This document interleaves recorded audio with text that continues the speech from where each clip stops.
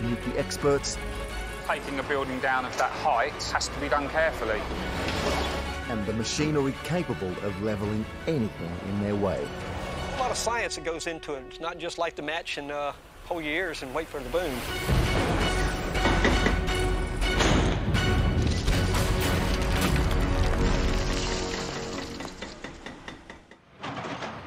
To me, every demolition is a work of art, but implosions are the real masterpieces.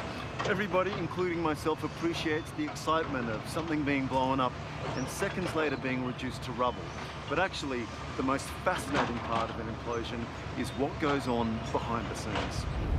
And that's precisely why in this episode, we're visiting the United States of America, specifically a town called Alexandria in the southern state of Louisiana.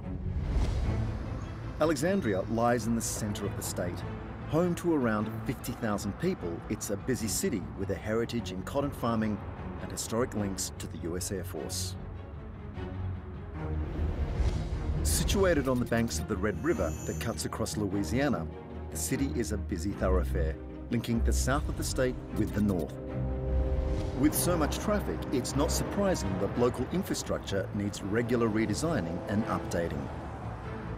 You guessed it, that means bringing in the demolition experts to clear space for the new roads and structures.